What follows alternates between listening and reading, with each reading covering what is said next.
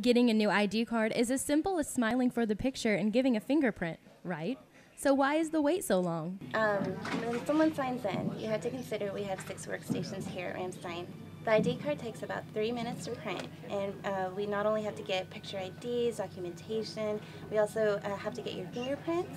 Once you give your fingerprints, it can take up to 20 minutes to encode a single card.